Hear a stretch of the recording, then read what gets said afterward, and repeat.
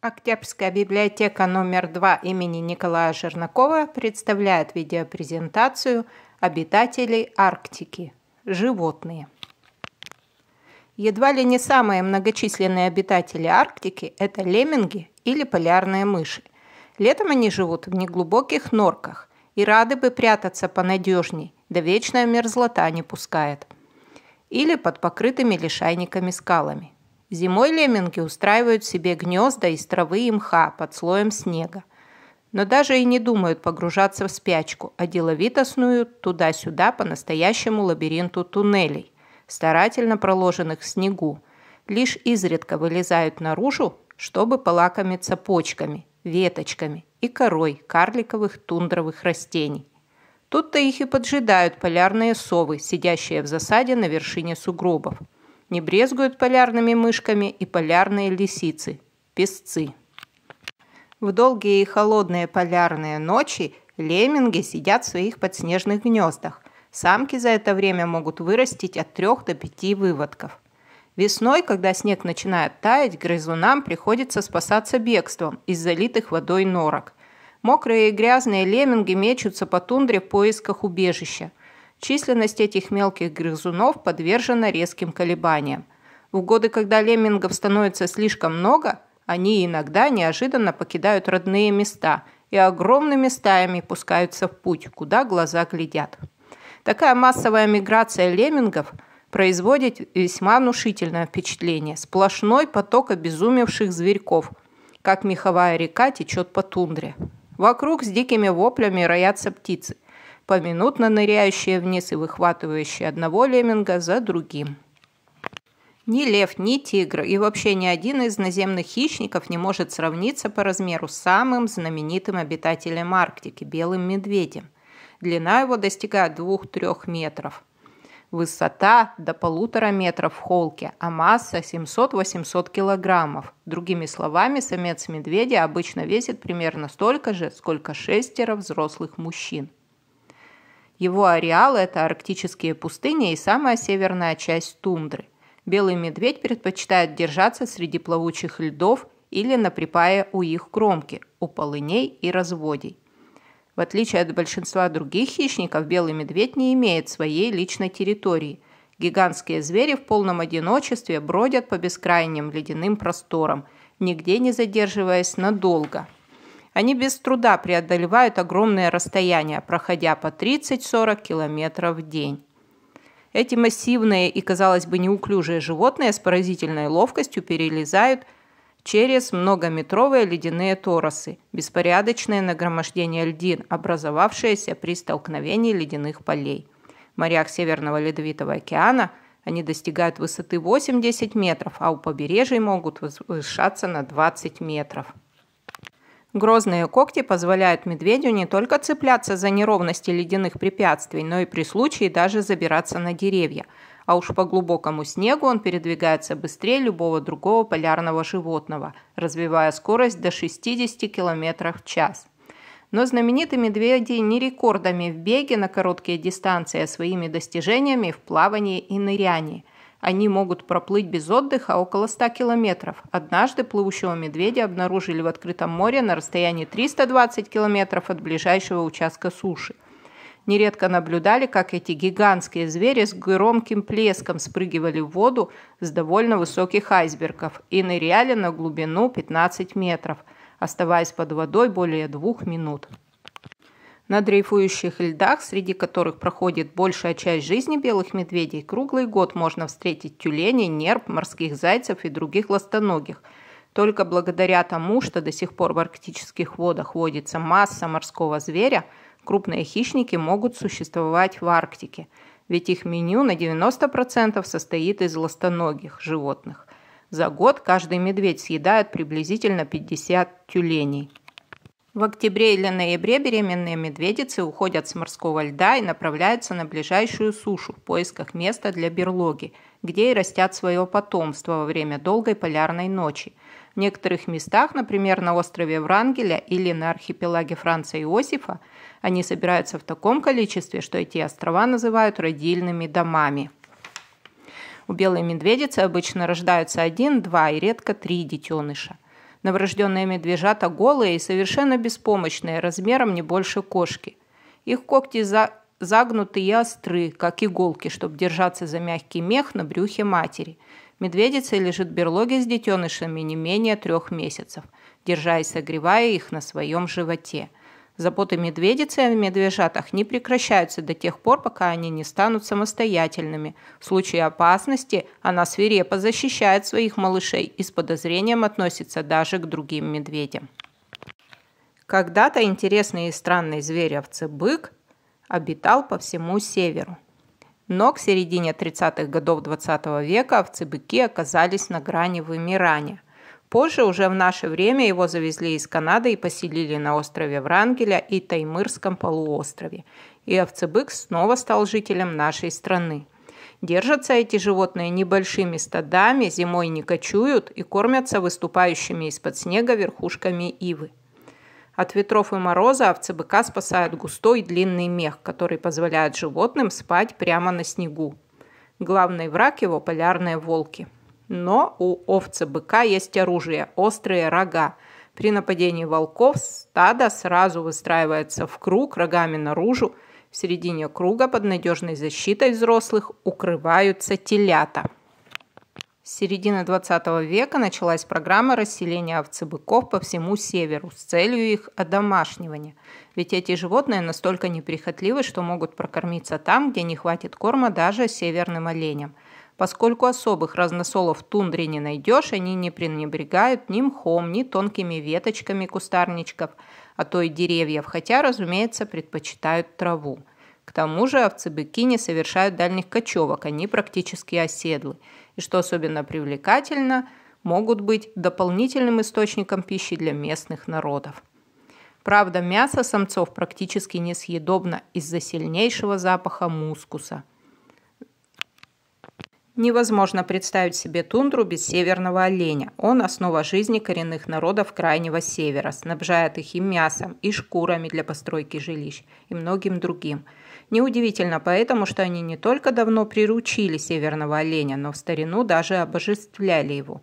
Дикий северный олень ведет кочевую жизнь. Летом стада движутся, спасаясь от комаров и другого гнуса к северу, к океану, где холодней и ветер – а осенью снова пересекают тундру, следуя на юг к тайге.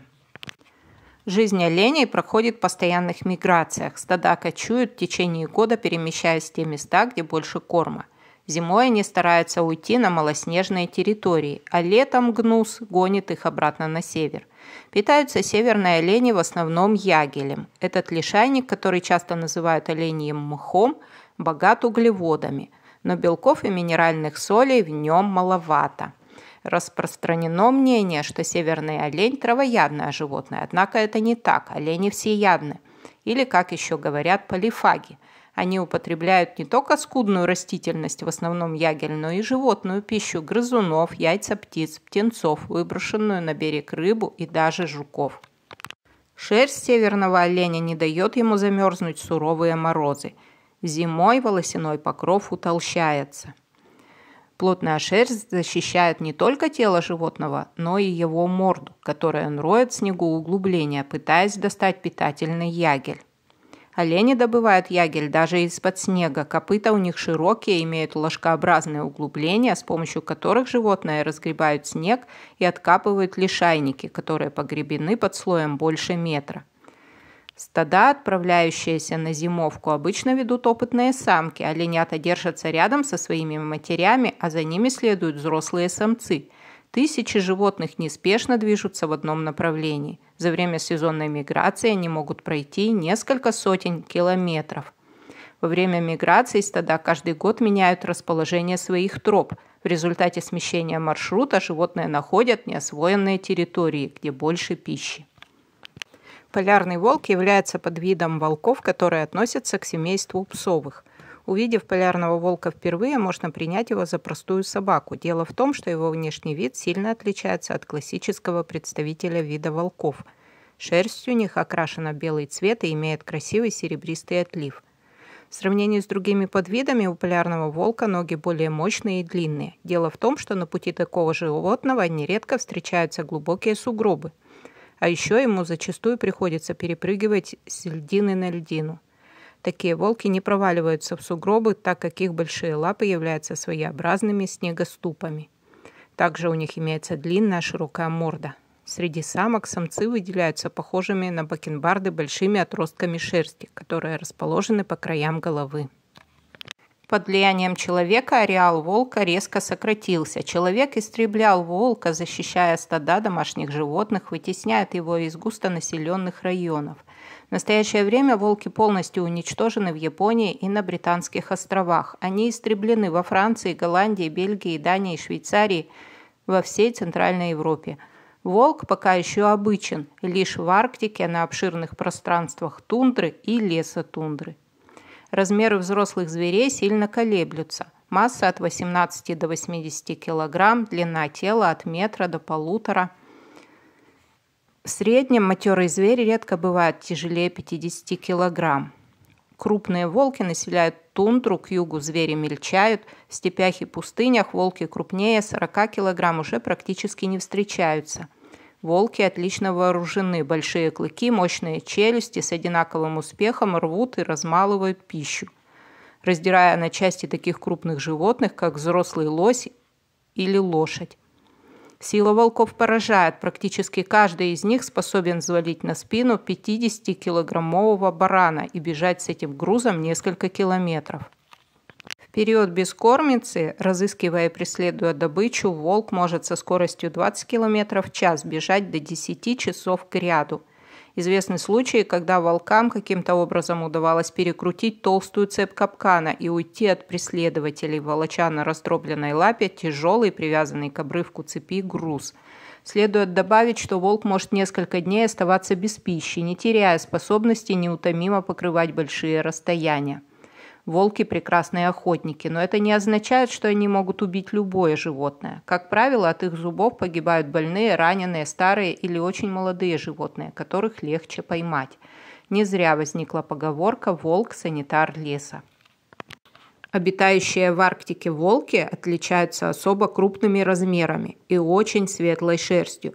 Зимой их основная добыча – северные олени а летом волки могут прокормиться зайцами, леммингами, птицами и их яйцами. Иногда жертвами серых хищников становятся и песцы, особенно молодые. Самая заметная черта песца – это огромный пушистый хвост. Он практически такой же длины, как и все туловище.